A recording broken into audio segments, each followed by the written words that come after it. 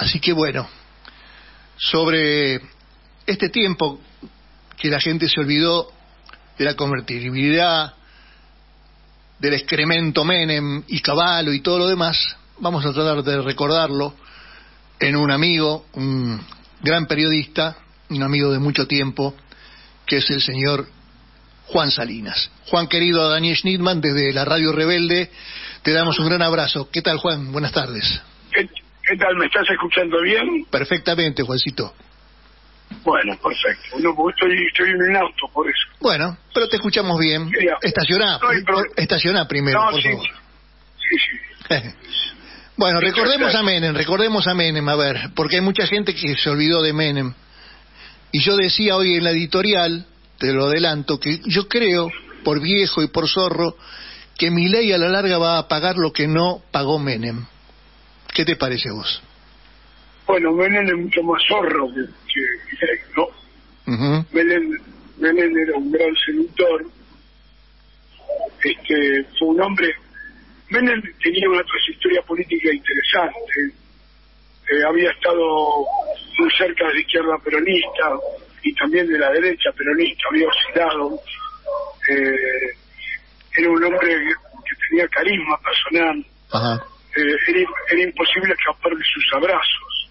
Vos te podías quedar quieto como una columna de semáforo y él igual que iba a abrazar. este, era un tipo simpático al principio. Y tengo para mí que si las circunstancias hubieran sido otras, otras, o sea, si no se hubiera caído el muro de Berlín y hubiera implosionado la Unión Soviética, Menem hubiera tenido otra posición. Hasta recordar que en el año 1985, en un acto de lo que entonces eran los referentes del peronismo renovador, es decir, Cafiero, Grosso y él, él llegó muy tarde al acto que se hacía en la Recoba de Once eh, y para entonces Estados Unidos había bombardeado Trípoli mm. y había matado una, una hijastra de Muammar Gaddafi, no sé si recuerdan. Y Menem tuvo el desparpajo y el descaro de pedir la ruptura de las relaciones entre Argentina y Estados Unidos en solidaridad con Gaddafi. O sea que, cosa que a mí me dejó perplejo, yo estaba en el acto, este y yo quedé perplejo porque dije, quiero olvidar lo que dijo, ¿no? Porque este, no estábamos en condiciones, la Argentina en ese momento no estaba preparada para una cosa así. Sí. O sea, si Menem, eh, cuando gobierna, él intentó hacer alguna cosa populista, venía con otros planes, mira, hay cosas que son para una novela de Osvaldo Soriano. Por ejemplo, él tenía un ministro de Economía en La Rioja que se llamaba Aguilera. Sí. Este, este señor Aguilera era un peronista total. Y entonces había preparado todos los planes para lanzar un tercer plan quinquenal durante el gobierno de Menem.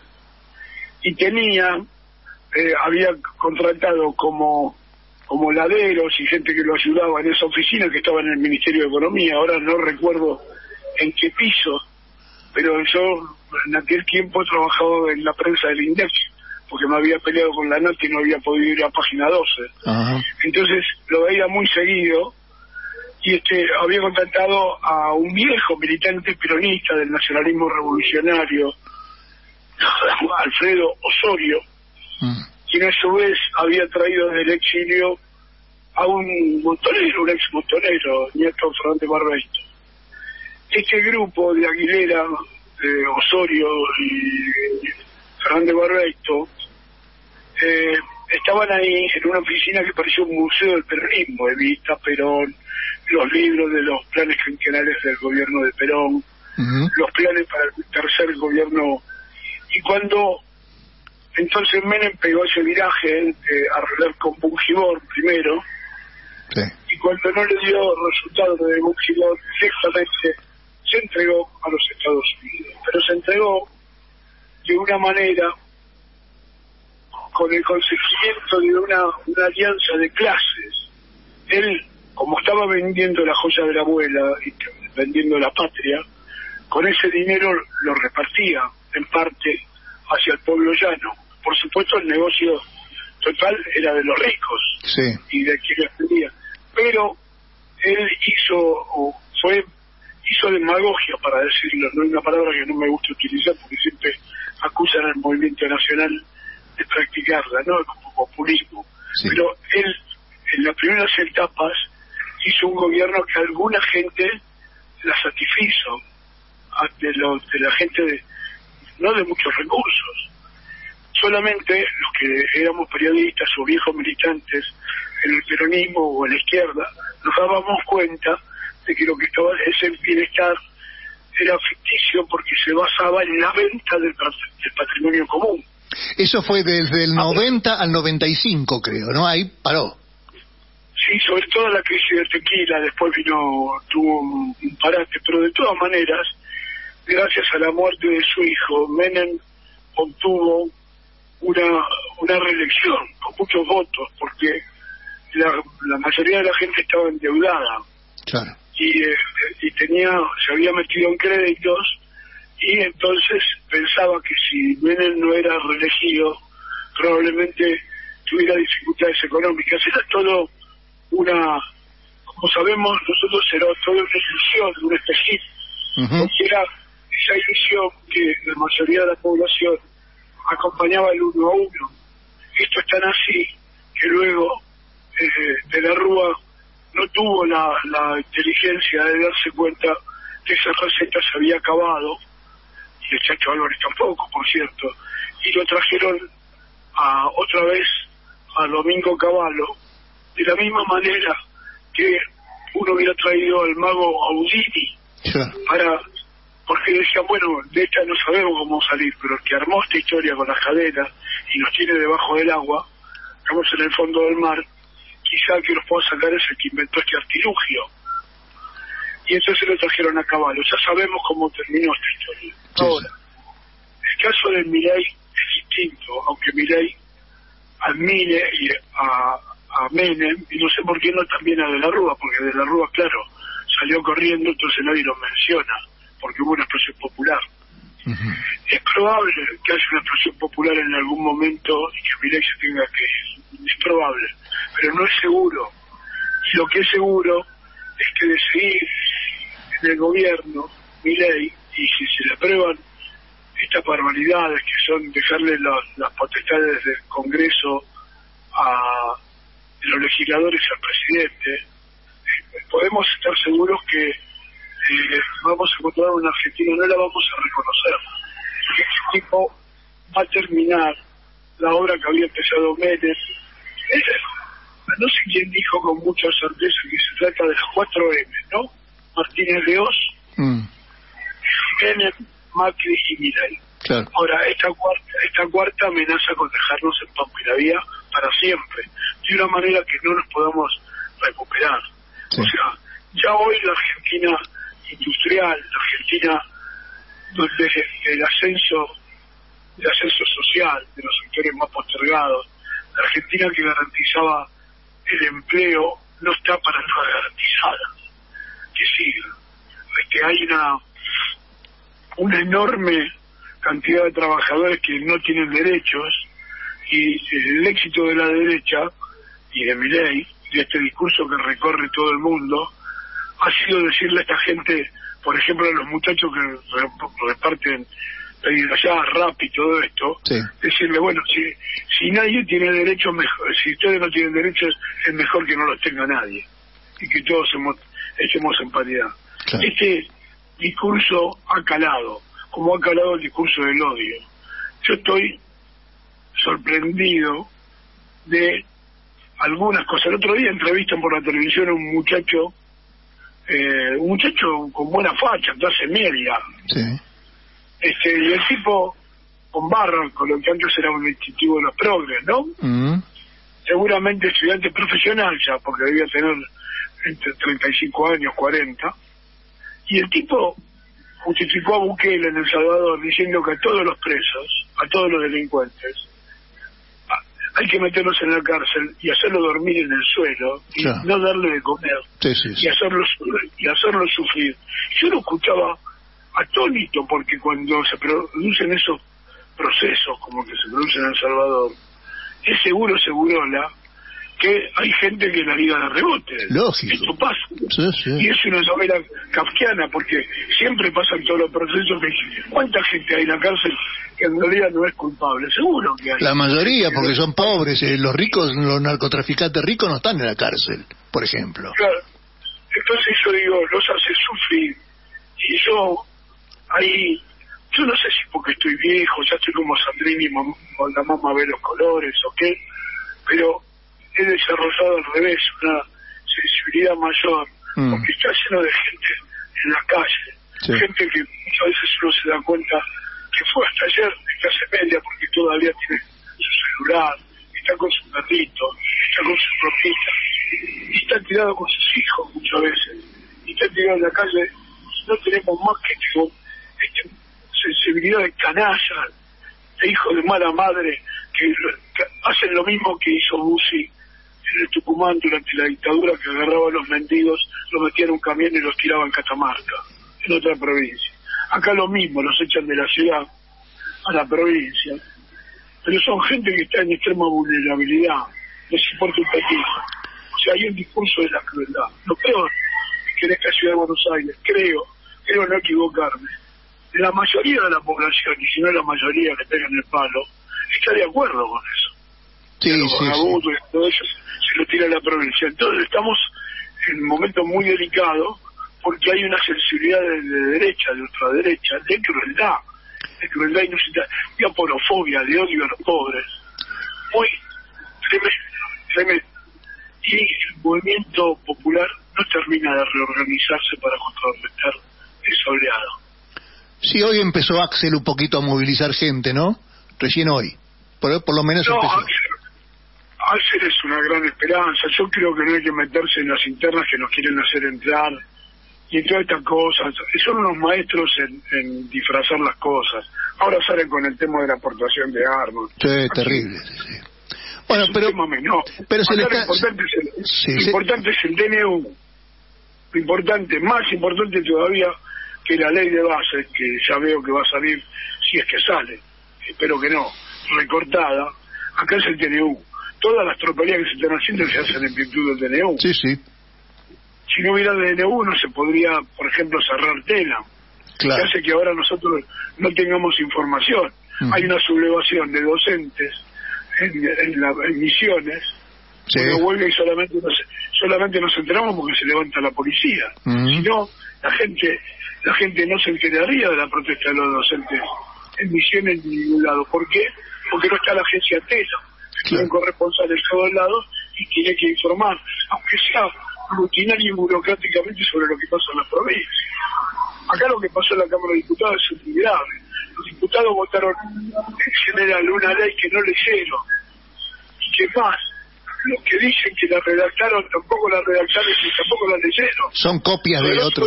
Claro el secretario de Energía el otro día, que es el de, el de requisitoria en el Senado, eh, Barril, dijo, no sabía, el secretario de Energía no sabía cuál es el costo del barril de petróleo. Exactamente, lo vimos, sí, sí. Pero, pero es como si un cocinero no supiera cómo se hace un huevo frito.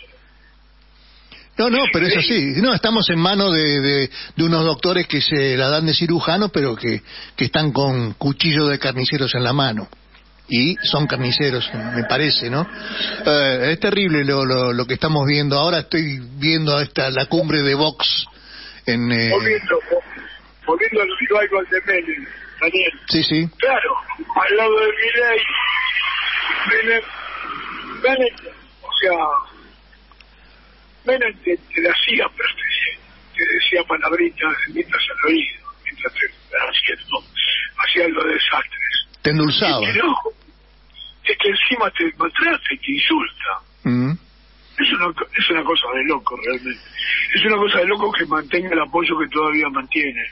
Y lo mantiene porque está porque hay un fenómeno acá que es así como la porafobia, la crueldad, todo este discurso, se nanca sobre el antiperonismo. Claro. Esto va a tener va a tener un término, el término va a ser cuando la clase media que sobrevive golpeadísima, golpeadísima, porque la clase media está muy golpeada y va a estar más golpeada. Sí.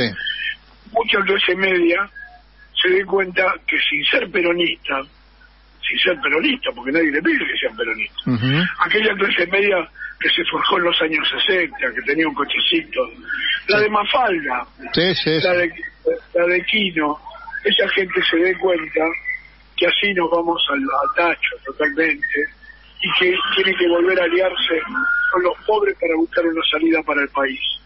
Y en sea, esto, otra vez va a haber algún movimiento de piquete cacerola de la lucha es una sola en algún momento no va a haber por la crisis increíble que está sufriendo. Bueno los pobres ni hablar que no tienen ni para comer. Sí, sí. pero la clase media la clase media no puede llegar a fin de mes.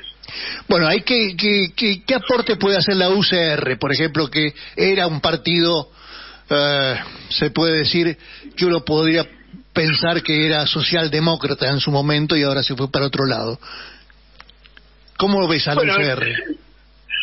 No, es un partido que es una federación de grupos conservadores de pro- provincianos.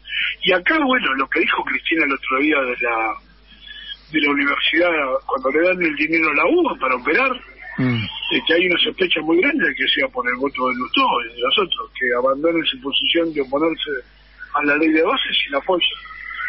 Este, yo si es así, este, Lutó este, va a perder toda credibilidad.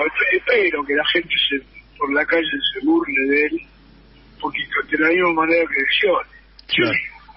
¿qué se puede decir? Decir, No tengo palabras, yo no quiero ser como Cunio, estar todo el día insultando. Mm. Pero realmente es, es, qué basura, ¿no? Sí, sí. Qué basura, qué, qué arrastrado, qué tipo, o sea, lo único que le interesa es que no puede vivir fuera del Estado.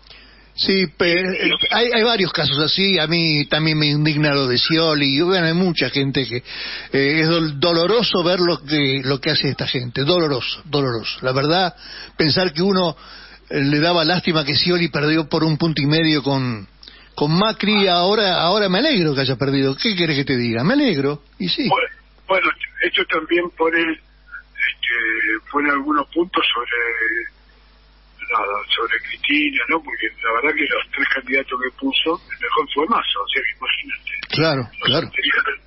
Y Massa es un hombre de la embajada de Estados Unidos. Sí. Este, yo no, yo no me quiero eh, poner en la misma posición que Juan Grabó, que mi tocayo, al cual respeto porque creo que cometió un error este, al discutir con este muchacho, ¿cómo se llama? De los dentistas de Túnez. Marra. Claro, ¿cómo se va a poner a discutir con Sí. No, no, sí, yo, yo pi- pienso como vos. Sí, se bajó mucho. como, pero, pero escúchame, es como, ¿por qué no discute con, eh, se agarra gritos con, es como con Lamondino, no podés discutir, tiene que tomar el pelo. Claro. Como canciller es, un desastre, es un desastre. Mi tía Telvina, eh, la gorila, es más, tiene más lógica que esta mujer, ¿viste? Va a cumplir órdenes de mi ley, pero bueno, como canciller es una catástrofe. Eso muestra lo, lo arrastrado que está la Argentina, este, entregando todo a Estados Unidos a cambio de no sabemos nada, porque hasta ahora no hay nada a favor. Los propios norteamericanos no lo pueden creer. No, no, y Europa, eh, muchos europeos tampoco. No, no, no, desde ya. Este, decime una cosa, Juan, vos con tu experiencia, estamos hablando, le digo al público que, que se prende ahora con nosotros en, en La Rebelde, con el periodista querido y lúcido Juan Salinas. Decime, Juan, eh, ¿qué porcentaje o hasta cuándo crees que esta clase media que todavía tiene un canuto guardadito ahí de dólares, eh, ¿hasta cuándo va a aguantar? Dejar de mandar a su hijo al colegio privado y dejar de, de guardar el, el auto en un garaje, tener que ponerlo en la calle, etcétera. ¿Hasta No, cuándo? es un misterio, es un misterio. Para mí fue muy alentadora la, la marcha por las universidades, por la educación pública. Claro. No fue por las universidades. Para mí fue un... porque si hay, hay acuerdos que son... Hay consensos en la Argentina, en la sociedad, pese al enfrentamiento River-Roca, peronismo, antiperonismo, hay cosas que están de acuerdo. La, la educación pública la ideó Sarmiento que era racista. Mm, sí, totalmente Sin embargo. Sí. sin embargo, tuvo la, la buena idea de proponerla. Mm, Y la instauró Roca, que sería genocida, pero que Roca también es cierto lo que dice Belardo Ramos, que es uno de los fundadores de la Argentina moderna. Sí. O sea, una, una Argentina muy injusta desde ya. De terratenientes. Una, donde, claro, pero no eran pero no eran antipatria, eran gente que arreglaba con el imperio Para ser es verdad, es verdad. para, para ser ellos los jefes, ellos eran los dueños de la estancia. Ujú. Roca es el primero que lo, lo agarra el catalán, día, ¿cómo se llama? Vialet Macé, ¿no? Sí, algo más. Que, que le dice que haga una, una encuesta de cómo estaban los pobres. Los pobres estaban arruinados. Claro. Este, Roca se da cuenta porque instaura el ejército, la educación pública y el ejército, y la gente se va desnutrida.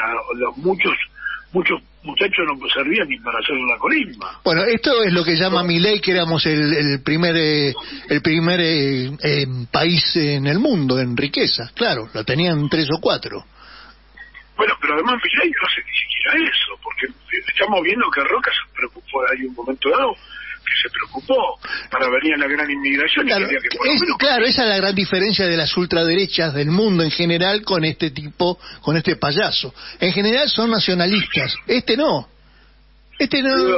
Para nada. Daniel, hoy, hoy aparecen fachos de verdad de los antiguos y nosotros que los ab- abominábamos de ellos, Ujú, quizás que tuviéramos alianzas, eran nacionalistas. Claro. O sea, Mohamed Ali que era un loco, uno puede decir que era un loco por sus prejuicios judeófobos, ¿viste? Sí, sí. y porque uno puede decir que era loco, era el manto de la Virgen, qué sé yo qué, pero él no era entregador de la paz, Claro. no quería, no quería entregar nada, y su archienemigo, Herrera Merlo, tampoco, Ujú. tampoco. Entonces, es- esa gente del pasado, que no era tan jodida como para nada, eran gente con la cual uno se podía pelear, sí, ácidamente, pero no eran tipos que fueran a entregar el patrimonio en común al extranjero a cambio de nada, como quiere hacer esta ley de base, de base de la entrega. Sí, sí, de, de la, de la entrega de todo, de todo, de todo el país, de territorios, de todo. una- y además que es- si este muchacho y los que están detrás de él, ¿no? que son los que lo bancan, se salen con la suya, este país va a ser la isla de la tortuga. Bueno, o como Ecuador va a estar en manos del narcotráfico, porque vos pensás, estos muchachos de los países latinoamericanos, ¿no? Sí, los narcotraficantes serios tienen contadores, tienen empleados, tienen gente que trabaja para ellos, que no son grandes narcotraficantes, son gente de saco y corbata que por ahí les manejan a los narcos una X cantidad de, do- de dólares, ¿no? Sí. Entonces suponete que hay un muchacho, contador, que tiene 5 millones de dólares, ponele, que lo maneja para un capo de la droga. Mm. O sea, ahí no hay documentos escritos. Este señor, el contador, lleva una buena vida. ¿A cambio de qué? A cambio de que no se le ocurra traicionar porque te mataste un balazo. Por. Ahí no te van a mandar una- no te van a mandar un abogado. O sea que el tipo se va a cuidar mucho, dirige a los burros a gastarse la plata o tirársela por ahí. La va, va a rendir cuenta de ese dinero. Y a cambio de eso, vive bien. Esos tipos van a venir acá, se van a comprar negocios que están funcionando y durante 30 años no van a pagar impuestos. Entonces van a joder a la competencia local, porque nadie va a poder competir con ellos. Es una locura lo que están haciendo. Sí, aparte, O sea, están este, aparte todos los capitales negros de, de justamente, de- tanto de, de, de- de la venta del narco como de armas, todo eso, todo va a entrar acá, este, como, como esa, las torres que están en Rosario frente al río, que son lavadero de Eduardo Este, por ejemplo, ¿no? Un lavadero de guita y todo eso. Y bueno, Sí, por supuesto, va a ser así, pero además el problema es que esa gente después, los muchachos en Argentina, si estudian y se reciben, tienen que trabajar como profesionales para esta gente. claro. Y si, y si no estudian y son de las clases populares, el único empleo que encuentran es ser tranzas, eh, estar en el menudeo, repartir droga o ser soldaditos. Es Y terrible, es terrible. Eh, yo, el único, el único trabajo que va a haber es ese, en la Argentina. Eh, mira, eh, Juan, yo lo vivo en carne propia, eh, perdón que haga autorreferencia, le digo al público, yo tengo una hija, es eh, politóloga, magíster, eh, etcétera, treinta y pico de años, eh, y trabajó en el Senado de la Nación, en el Congreso, como asesora de un senador por muchos años, más de diez años. Un día se cansó, largó todo y se fue a vivir a, a Europa. Ahora, en este momento, ahora está en Irlanda, trabajando de otra cosa largó la politología, largó todo, porque se cansó de lo que veía al lado, alrededor, y ahora está en el tema del saneamiento ambiental y todo esto de naturaleza, etcétera, trabajando en Irlanda, que no la está pasando bien tampoco, porque yo le dije que ya tenemos a Miley, y ella lo sabe muy bien, que siempre dijo que en 35 años vamos a hacer Irlanda, me dice, mira, ojalá que no, porque acá llueve y se inunda todo, este, la, las casas entra, entra, el agua en las casas, hay, hay muchos problemas. La mayoría, la mayoría de los jóvenes en Irlanda, el objetivo de Milay para dentro de 30 años, uh -huh. la mayoría de los jóvenes se quieren ir del país Sí, sí, no, o a las 6 de la tarde están todos tirados en la vereda borrachos. Me lo dice mi propia hija y estoy hablando de profesionales, no de gente que no. Entonces, este, también es gente que está media zombie. Así que bueno, lamentablemente a la audiencia le estamos, este, le estamos cantando la verdad, es una realidad. Hay que estar preparados, por eso te llamamos a vos y otra gente lúcida como siempre, como para saber de qué se trata la cosa, para tratar de eh, ponernos del lado de la vereda donde tenemos que estar, dejar de escuchar a, a, a los Majul, a los eh, la Nata ya ni hablar, eh, todo, todo Feynman, toda esta gente de, de la Nación, de Macri, todos estos fachos locos. Daniel, el gobierno de Fernández no fue un buen gobierno, mm. pero la gente tenía un horizonte de previsibilidad, de previsibilidad que lo único que la jorobaba era la inflación. Uh -huh. Hoy tenemos una inflación mayor interanual, aunque baje al 8, no sé cuánto, si las estadísticas son buenas. O sea, hubo una inflación brutal desde que subió mi ley. Terrible. Entonces, estamos en una situación peor y no tenemos horizonte de previsibilidad más allá de que mi ley pueda seguir bajando la inflación. Es que lo va, lo va a lograr, lo va a lograr, si nadie, no. va, nadie va a comprar nada. Bueno, Domingo Caballo dice que, que lo va a lograr hasta el 6-5%, que después va a rebotar. Puede ser. Que, que no hay manera de plancharlo. Así. Yo pienso que, bueno, como siempre se dice en un cementerio no, no hay inflación. Yo pienso que vamos hacia ahí, porque está todo cerrado. Hoy yo venía en, un ratito en, un colectivo, pasaban taxis vacíos por todos lados, ya se ven los comercios cerrados, bueno, ni hablar de la gente tirada en la calle, bueno, todo lo que, lo que estamos viendo no lo, no lo quiero repetir. Eh, Juan. Conste que, los taxis, conste que los taxis hace mucho tiempo que no tienen lo que sale con los taxis son patrones. Los patrones, claro, los patrones, claro, los dueños del auto. Sí, porque las, las aplicaciones este, han, han, acabado con los taxis. Juancito, este, te agradezco muchísimo esta charla. Por supuesto, la vamos a subir en YouTube en la semana y ya vas a ver que va a tener una repercusión enorme.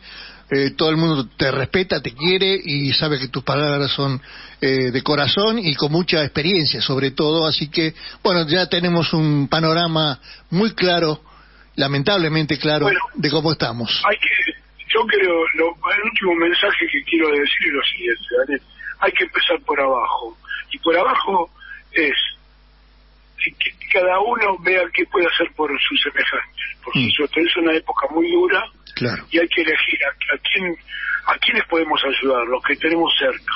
Hay que ayudar a eso. Y hay que darle ánimo a la gente que se cayó del mapa y que está muy, muy jorobada. Hay que tratar de... Yo admiro a toda la gente que está en los comedores y me parece lo más canalla que se vaya contra ellos, de, contra estas señoras que cocinan para los chicos y que les está atacando este gobierno de canallas.